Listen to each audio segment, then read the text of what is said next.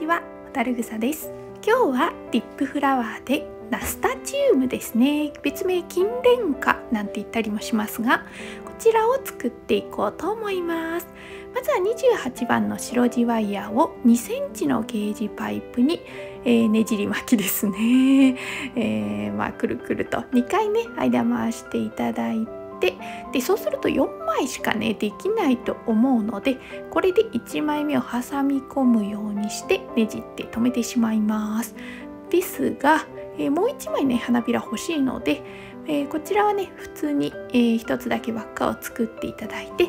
えワイヤー1本でね切ってしまいます。でどこでもいいんですけれどもまあ今のね軸となっているワイヤーと一緒にねじって留めて、まあ、その近くにね入れてあげるっていうのがね一番、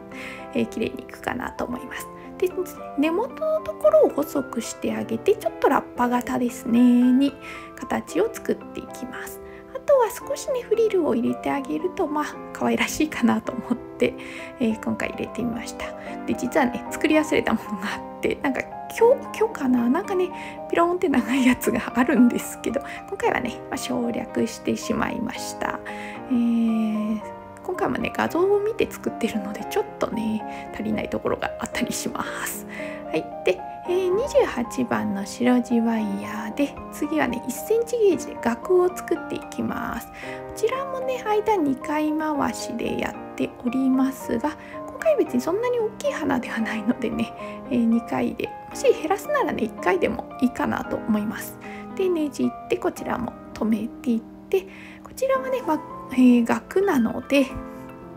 細長くしていきましょう。でねちょっと面白いところはねこのナスタチウム額もね緑ではなくお花と同じような、ね、色なので今回ディップの時はねお花と一緒にディップしてしまって大丈夫です。それがねちょっと楽ちんなところですね。はいでこんな感じで広げていって、まあ、最終的にこう組み立てるっていう感じですね。なんでちょっとね大きめかなとも思うんですがまあねなんとか寄せて、えー使っていきましょう。1センチよりね細かいのはちょっと大変なんでね使うのがねゲージスティックあるんですけれども。で次は28番で葉っぱ作っていきます。5センチのゲージパイプですね。で1つ輪っかを作ったらよくねじってあげてねじりを残して切ってあげます。でこれをね全体的に、えー指を使ってね、えーぐにゃぐにゃとさせます。はい、そして、えー4本か5本ですね。ちょっと、えーその時々によって違うんですけれども、まあ、4本でも5本でも大丈夫です。適当に28番のワイヤーを半分に切ってさらに半分に折ってねじりました。はいでこれをですね広げていきます。そうするとねこんな感じに四方八方に、えーワイヤーが伸びてる状態になると思うんで、はい、傘の絵みたいなのができたらこれをちょっとまあ位置をねある程度決めてできればねじったところですね。さっきカットしたところに1本ちょっと入れてあげてそこをね押さえつけるように1つね、えーくるくると巻きつけてほしいのであとの位置はねまあ均等に、えーちょっとおかしなね風にならない程度にこう広げつつ自然な感じにね、え外側の輪っかに巻きつけていくっていう感じで。あとはね少しねそ、えー真ん中部分あたりが盛り上がって下側がちょっとね下がっているっていうような外側ですか外側が下がってるみたいな感じで。ちょっとね、えワイヤーブリッジかけるんですがその時にね、え指を使ってこの起伏を作ってつけてあげるとよりねリアルな葉っぱになるかなと思います。ただまっすぐねピンと張るのではなく少しねカーブを描きつつ、えー葉っぱをね作っていただければなと。ちょっとこれね今回のやり方、え前ねなんか睡蓮作った時とちょっとまた違うねブリッジのかけ方ですが挑戦してみました。はい、で26番のワイヤーで軸がちょっと短いので半分ぐらいに切ったものをちょっと紙がね取りかかってますがワイヤーの。半分に折ってこの上からね、えー引っ掛けてあげてねじって止めてね、えーリップしやすいようにねしておきましょう。あとねギュッとちょっとね浮きやすいので、えーしっかりねくっつけておきましょう。オレンジと今回ねこれクリアが多分えー73ぐらいですかね。クリア3ぐらい入ってると思います。ちょっとねそのままだとね濃いんですよねディップ液って。なのでついついね、えー、クリアを混ぜて少し色味をね、えー、クリア寄りにしています。で葉っぱは今回ライトグリーンでねディップしました。で5センチで作りましたが、えー、4センチゲージでもねちょっと23枚作りましたのでまあね、それ、えー、言い忘れてましたね。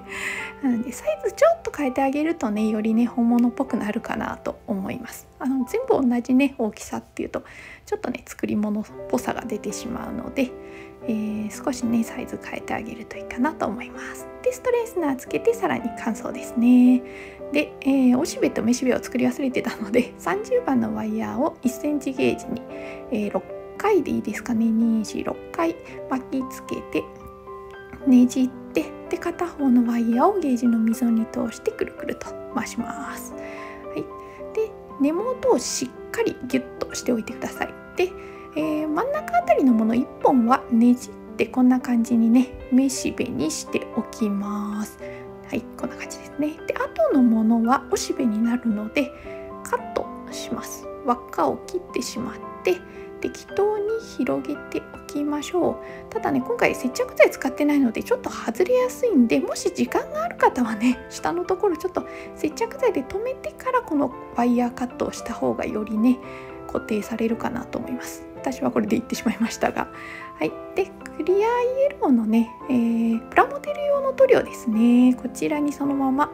えー、筆でね丁寧につけていただいてもいいんですが、えー、ジャポンとそのままつけてえー、フラミンスポンジにね同じように立てて乾燥させておけば根元もねちょっとは固まって動かなくなります。こんな感じですね。全体的についたかなっていう。で乾いたらそれぞれお花額、えー、おしべめしべをワイヤー1本ずつに減らしておきます。で先ほど言った通りね、えー、2種類作りましたよということでこちらもワイヤー1本にね減らしてしまいます。あんまりたくさんワイヤーあるとモコモコしすぎるので減らして。あとは目打ちで額とお花のところですね、えー、ワイカを作ったところに穴を開けていって、えー、通していきます。はいこんな感じですね。よし色味がねそんなに変になりすぎなかったんで今回はったですね。よしでこれで位置決めたらねじってしっかり留めてあげます。でさらにそれを額に通していくんですが今回ちょっと額が大きいので、えー、根元をギュッとねしてあげてちょっとね額の位置を下に ずらしてあげて、えー、ちょっとねお花のまあ半分ぐらいですかねこの辺を隠すような形で。でね、えー、位置はねじってワイヤーで留めてしまいましょう。ちょっとね大きいので入ってねキュッキュッとしっかりね押さえつけてとはフラワーテープでねこの辺少しねあのワイヤーの輪っかの部分あたりをね隠してしまうように巻いていきます。はい、で、えー、葉っぱの方も一応ねこの辺モコモコしてるのでフラワーテープでね、えー、見えなくしてしまいます。はい、で26番で少しお花の方の茎をね、えー、延長します。この辺はもうね、えー、生ける花瓶や容器によって、えー、長さ調節してみてください。でね26番使ってますけどねもう少し、えー、24番とか太めのものだとねよりしっかりしますが、まあ、そこまでね今回のお花硬くなくてもいいかなと思うので26番ぐらいで、ね、少しねあのくねくねさせてよりリアルなお花っぽくしております。ちょっとねちょっと曲がってたりするとそれっぽいかなというぐらいですね。であと、えー、お花がちょっと背が高くて葉っぱが下の方にある感じなので、まあ、適当にねこの辺は、えー、位置を調節しつつフラワーテープでまとめていくって感じですね。まあ、容器とかでね、えー、寄せ植え風とか鉢植え風にするんであればそのままでねあの紙粘土で、えー、どんどん植えていってもいいかなと思いますが。まあ、今回はね、えー、こんな感じでまとめてみました。ここまでご視聴ありがとうございます。またよろしければチャンネル登録高評価していただけると嬉しいです。